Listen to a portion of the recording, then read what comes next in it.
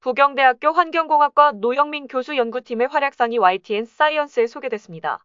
YTN 사이언스는 지난 9월 23일 다큐 S프라임 프로그램의 자율주행의 눈, 라이다 편에서 라이다 활용 기술 사례로 노영민 교수 연구팀이 개발한 스캐닝 라이다 시스템을 소개했습니다. 이 방송은 4차 산업혁명의 핵심 기술이라고 할 수 있는 라이다 기술을 소개하며 이 기술은 과거 기상 관측이나 지형을 정밀히 그리거나 비행기 착륙 유도 등에 국한해 사용됐지만 지금은 우리 일상 깊숙이 스며들고 있다고 밝혔습니다. 라이다란 라이트와 레이더의 합성어로 신호를 발사하여 물체가 반사되는 것을 확인하는 기술입니다. 레이더와 원리가 유사하지만 발사하는 신호가 단파장의 레이저 펄스로 돼 있어 정밀하게 물체를 이미지화할 수 있습니다. 라이다 기술은 최근 자율주행 기술, AR 가상현실 기술, 공간 스캐닝을 통한 3D 공간 모델뿐만 아니라 농장 대형 가축 관리, 기후변화 보존 등 현실적인 응용과 적용으로 이어지고 있습니다.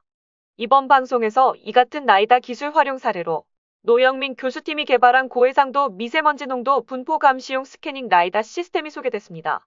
이 시스템은 라이다 기술의 스캐닝 방식을 도입해 반경 5km 내 관측 영역을 30m의 고해상도로 미세먼지 질량 농도를 미세먼지와 초미세먼지로 구분해 산출할 수 있는 시스템입니다. 방송은 원격으로 미세먼지 실태와 현황 배출량을 파악할 수 있는 기초 자료를 산출할 수 있을 것으로 기대된다고 밝혔습니다. 방송 영상은 YTN 사이언스 홈페이지와 유튜브를 통해 확인할 수 있습니다.